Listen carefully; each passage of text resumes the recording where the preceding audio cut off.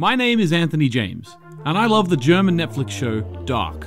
I love it so much that I started a YouTube channel to talk about it. From the start, I've been told that the Dark train won't last forever, and if I want to continue to grow on YouTube, I need to move on. Well, you know what? I don't want to move on. This show is worth more. It's worth more theories, more analysis, deconstruction, and discussion. So if you're not ready to move on either, then you're in the right place. Right here on Dark Discussions.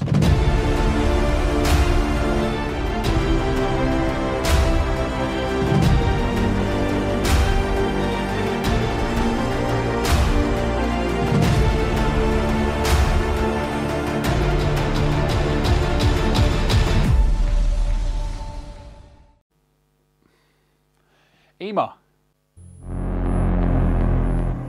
Yeah? I've just noticed the poll for Dark Discussions this week is a tie between a character study for Claudia and the Origin World Family Tree. What should I do? I don't know. Oh, uh, a letter came for you today.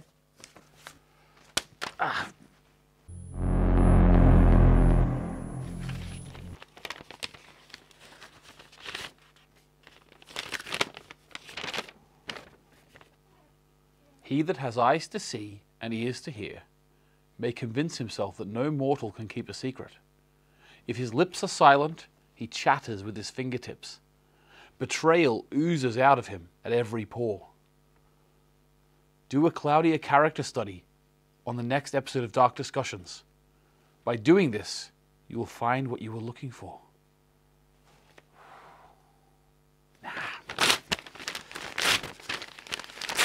Origin World Family Tree it is. Ah.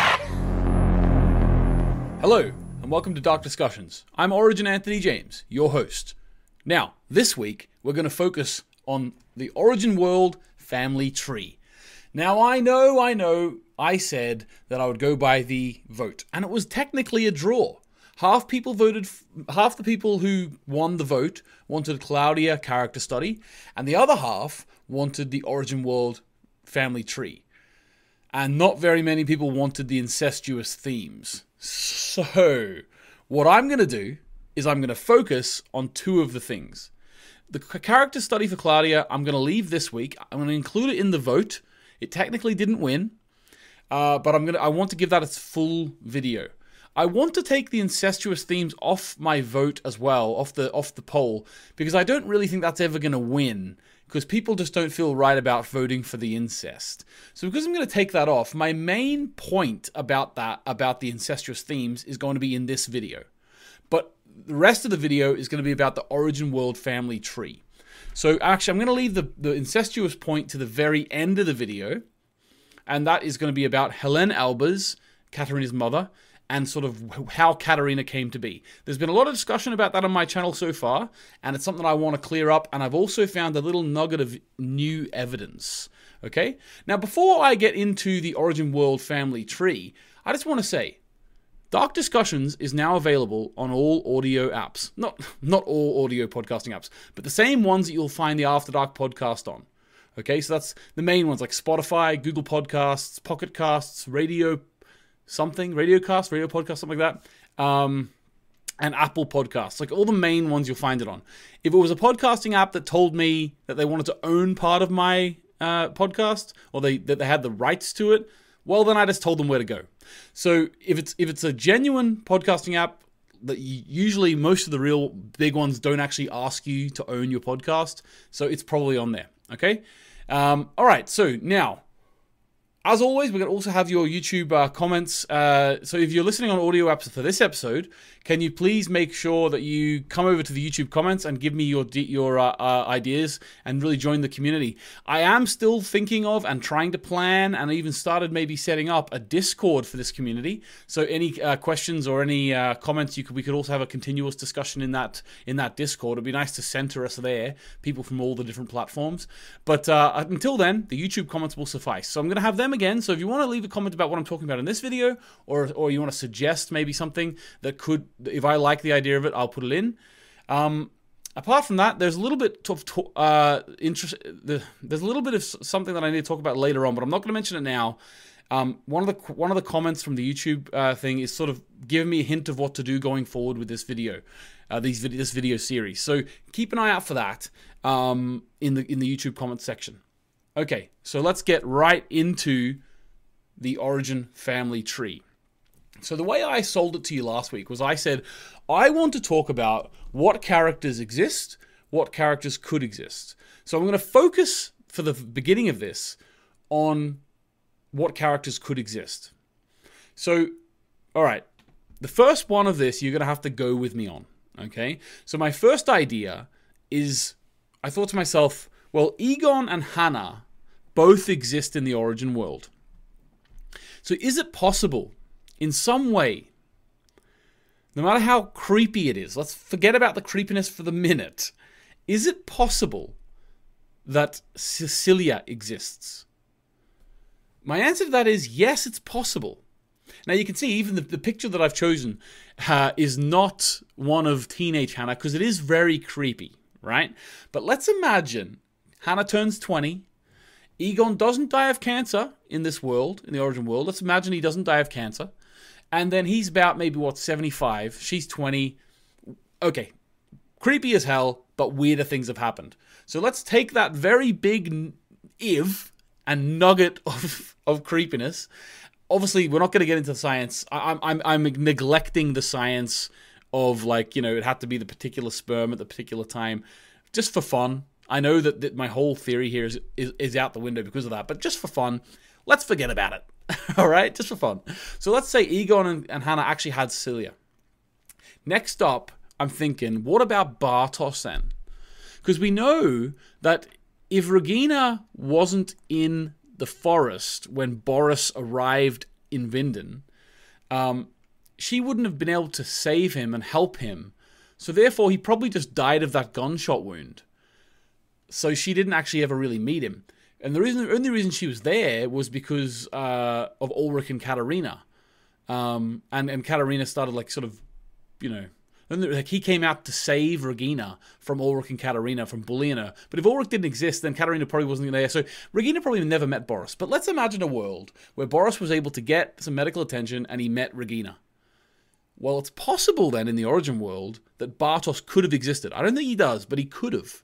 Okay, so that means we've got Silja and Bartosz. Now, the maths would put that around Silja being probably about 10 years older than Bartosz, around 10 years older. Again, weirder things have happened. Bartosz gets to 25, Silja's 35. All of a sudden, we've got a world where it's possible that Agnes and Noah exist. Okay? So that's what I'm sort of driving at here. Technically, it's possible that Agnes and Noah exist. Now, I think that's probably the end of where that big knot uh, that that we we saw on like Eva's floor, where all, all the, the thing came out all, it all came from the origin, and you know Jonas and Martha were the ones who created the origin.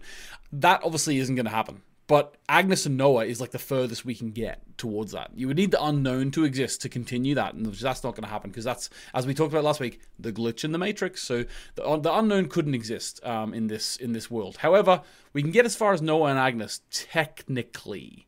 So I'm pretty happy with that. Um, I I was pretty happy with that. So if there's anyone else who could exist in the Origin world, let me know. But um, as far as I'm aware, in terms of the main sort of knot, that's where we get to. All right. So next, um, we have the if you go to the website uh, darknetflix.io, I think it is, you can get uh, the Origin family tree up. You have to actually go through. I, th- I chose either Jonas or Alt Martha, and I just went through them really quickly, and then eventually all the images fade away, and you get the Origin family tree. If you haven't done it already, go and have a look around in that website. It's great. Uh, okay, so on this family tree, there's something that I want you to notice. On this family tree, there is the parents of Bernadette Wöller, Benni Wöller, and Torben Wöller. So their parents both have question marks next to them, which is very interesting to me because we know who their mother is. Do you know who their mother is? Maybe you caught this, maybe you didn't. You're going to find out now. we don't know her name, so the question mark is correct. Okay, so the question marks are correct, but their mother is actually a nurse who works with Ines. Because in the first ever scene, we see 86 Ines. Okay, Belinda's going to be happy with that. 86 Ines. Uh, the the first time we see the uh, Ines, she's walking down the corridor, and um, a nurse there says, "Would you mind covering for me? I have to take Benni to soccer." There we go. That's Benni and, Vol- and Torben's mum. Okay, so eh, that's just a little thing. If you didn't know that, that's really cool to note. Uh, who the dad is, I'm not sure. Do we do we ever see this character with a man at any point? Like maybe we see them in the background, or I'm not sure. But that's the mum anyway. All right, guys. So okay, so now this one's a weird one. On my 25 unanswered questions video, where I got a load of views and there was a load of comments, I had a load of comments asking me, how can Regina uh, have different different fathers depending on which world she's from. A lot of people said, but how how is Tronte her dad in the other world and Bernd her dad in the origin world? Well, the answer is Bernd is her father in every world. And I'm sure everyone watching this video knows that. I'm sure everyone watching this video knows that. But there was a few things. Now, when Tronte said, uh, whenever he, he went and uh, and murdered Regina in, in, in the post-apocalyptic world, Tronte said, I always thought she was my daughter. Um, and that was giving us the clue that this that's Claudia saying, no, she's not your daughter. Uh, because Claudia was explaining to Bernd how it is that she figured out that the knot existed. Okay? Because the knot exists, she figured out it exists because she realized that not everyone was involved in it. And that was sort of a bait and switch, uh, or a red herring. Not, not a red herring, sorry, a bait and switch by the, uh, by the creators. Because the whole time we were led to believe that Tronte and even Tronte was led to believe that he was Regina's father. Okay? Now, we were led to believe that. So we didn't find out until episode 7, I think, of season 3, that Tronte isn't her father. Now, most of us didn't even pick up on it then because we had to wait till the very last scene in the series to have that confirmed, and that made us realize, oh my god, he's not her father. Okay, so that was a bait and switch by the creators, and that was sort of they told us one thing. Not they never told us it, but they they heavily implied one thing, and then it turned out to be the other, and that got us. That got us. You know, we were never going to figure out the, the connection between Claudia finding out how the origin world exists and stuff. We were never going to figure that out because we we all believed that Tronte was Regina's father. Now, Bernd Doppler being the father makes a lot of sense. Okay there's a lot of history to this. They've been building Claudia from series one. They've been building Claudia as the first ever female head of the power plant. And they were made a, made a such big deal about this. Tronte even said that's progressive, even for the 80s. So they built in the idea. Now, I'm not saying Claudia didn't deserve it. Of course she did. But they were building in the idea that she got to the top of the mountain in terms of the uh, in terms of the power plant. You know, they were building that idea a lot. She's the first woman to do it. It sort of makes sense now you know, not the not maybe not even that Bernd would uh maybe not even the fact that Bernd would give uh, it to her because you know she was sleeping with him or whatever. No, I'm saying that probably it's because Bernd trusted her, and Bernd actually now whether or not their their relationship lasted in the other two worlds, I don't think it did, but Bernd trusted her. Okay, so he got to know, he knew her very intimately, and we know Bernd. He would not have give. He wanted to give the power plant, and he wanted the power plant to be taken over by someone who he he trusted and he knew would do a good job. So that was Claudia. Um, okay, so also uh, another thing is that um, Regina gets the hotel. So maybe like Helga didn't get get the hotel, the Doppler mansion. Helga didn't get that. So Bernd probably found out at some point because I don't know. Greta probably passed away. I'm not sure where Greta, Greta is. Maybe she left once Bernd found out that Helga isn't really his.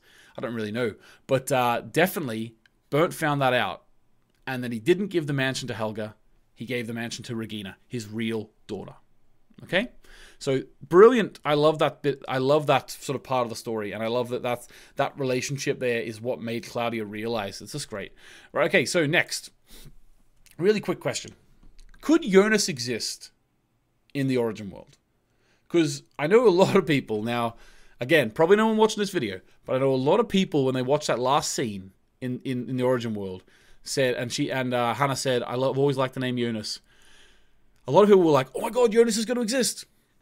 Now, the only way that Jonas is going to exist is if Hannah actually cheated on Michael in the other two worlds with Torben which I suppose is is plausible. I don't think I don't think that's true, but it is plausible, I suppose. The idea of Jonas being born from Torben and Hannah instead of Michael and Hannah is again not not true. They, they, it has to be the same parents. It has to be. Like you know, they're not going to break that rule. So uh, my idea would be if you want to go into a spiritual direction and say that it could be Jonas's soul, um, then I'm happy to go along with that. Um, I'm definitely happy to go along with that. But uh, then again, it might not be the case. All right. Uh, another thing is as well, just before I don't really have this one prepared too much, but it just reminded me, Charlotte, the baby Charlotte in the Origin world, is not the same Charlotte as the other one. Okay, baby Charlotte in the Origin world is is not the same Charlotte. That ba- that baby, they've never found the body because it's a baby in in, in a lake. It's gonna be hard to find, but uh, that is not the same Charlotte. That's something to remember. Okay, some people did just assume it was the same Charlotte. Um, no. Hey, you. Yeah, you.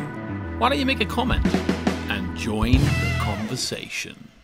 All right, guys, remember to put your comments into this YouTube video's comment section, and I can go through and you can add to the discussion, and we can, you know, have have a, have a good chat about it. Now, I'd like to see some people trying to talk about the one of the upcoming things. If you don't want to, if you just want to talk about what's in this video, brilliant, brilliant, no, no problem with that. But just just in case you have any ideas what's what's coming up, all right? Okay, so Bill says, interesting theory that the time machine was smart a smart machine that predetermined the solution and outcome.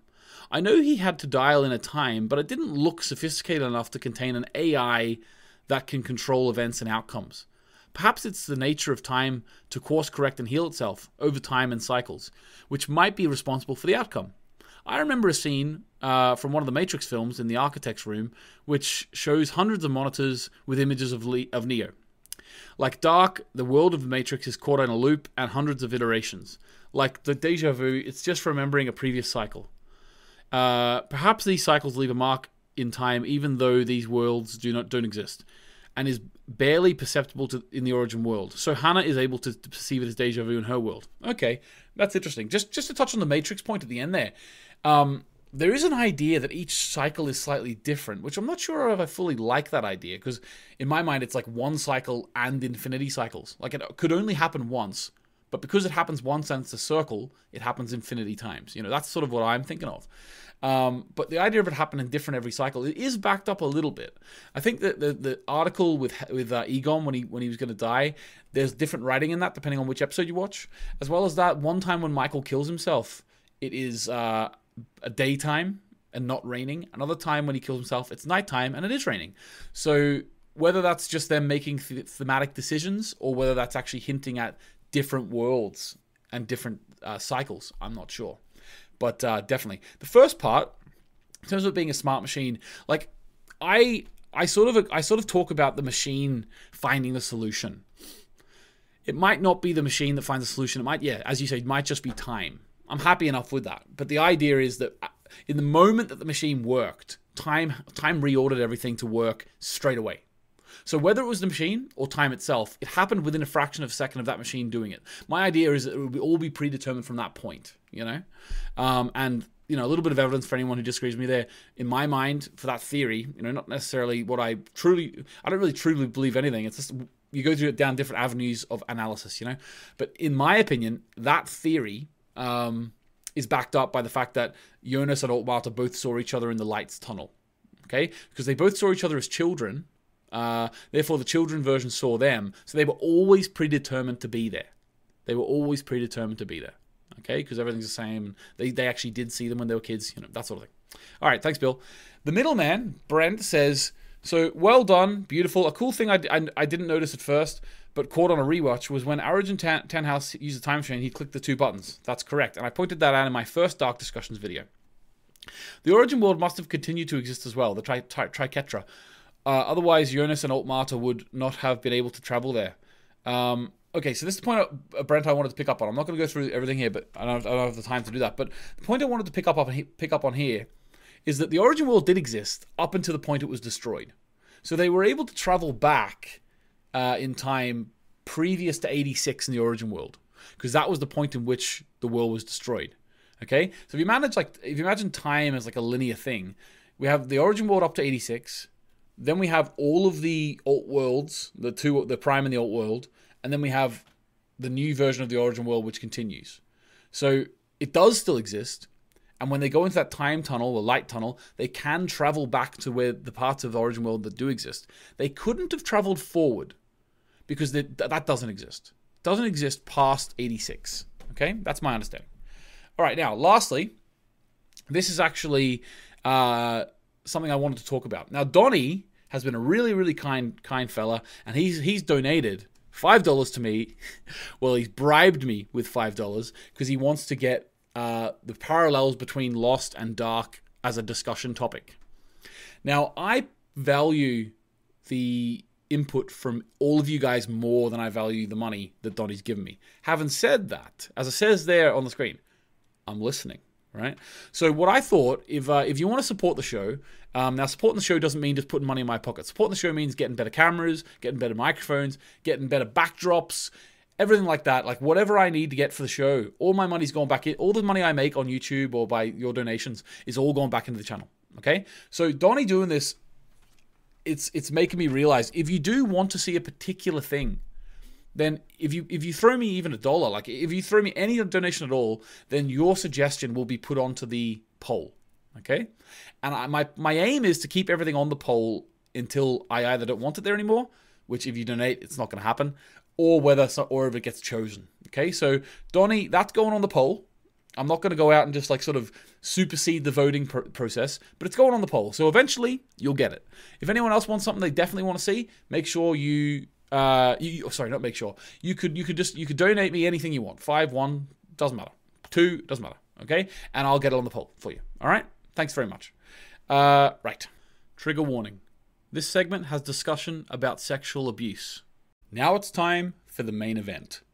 This episode should be called Dark Detective because I have been using my detective skills to crack this case, right? Now, I'm of course talking about Helene Albers and Katharina Albers and Herman Albers. Now, a lot of people, again, on my 25 unanswered questions video, commented and threw shade at me saying that I shouldn't uh, that I that I'm wrong about Helen uh, being abused in terms in terms of the way she she was able to uh, become pregnant with Katharina. I believe Katharina is the one true product of incest in this show. Okay, no one can convince me convince me otherwise. There, I think the evidence is there, even without the big breaking bit of uh, evidence that I found this week. Okay, but that is definitely there. Okay, and it really, really, it really fits as well for me because Katharina's a product of incest, right?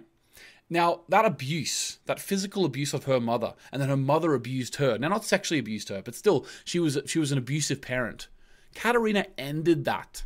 Katharina wasn't an abusive parent. She broke the cycle. Okay? Now, I'm 100% uh, I 100% agree that the creators were trying to put in that idea of those cycles of abuse being being uh, being broken.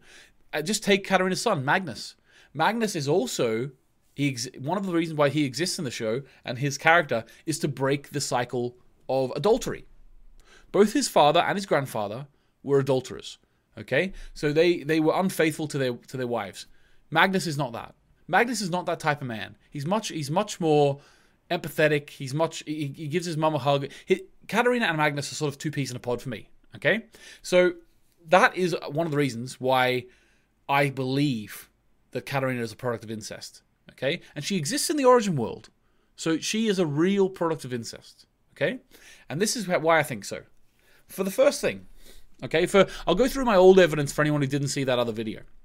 My old evidence evidence is um, that Herman Albers, okay, uh, has the same name as Helene Albers whenever Helene is 13 going to get an abortion. So Helene was already called Helene Albers. She says that's her name at that moment when she's talking to Hannah. So if that's her name, Helene Albers, and Herman Albers is already called that, I do not believe that she was married at that age. Okay?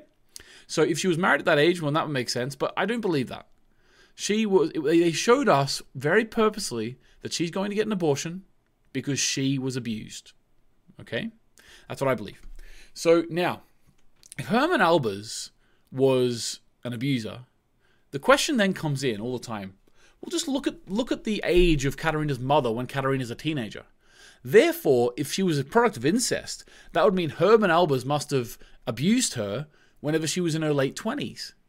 That, and they say that doesn't make sense. Now, I agree with that. I agree with that.